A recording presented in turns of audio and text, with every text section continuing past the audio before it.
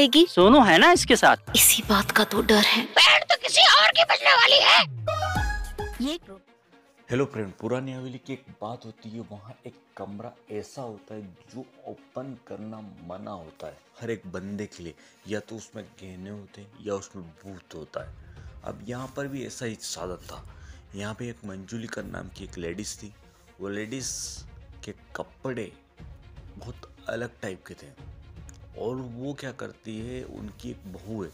और बहू को शौक हो जाता है कि उस कमरे में जाना। तो कमरे में जाने के लिए तत्पर रहती है।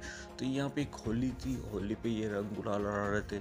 तभी एक बंदे के जेब में से वो उस कमरे की चाबी नीचे निकल के गिर जाती है। तो वो उठा के वो कमरे का दरवाज़ा खोल देती है और वहाँ के जो कपड़े वो पहन लेती है और नाचने लगती है और घुंघरू बजाने लगती है और उनके पास आ जाती है।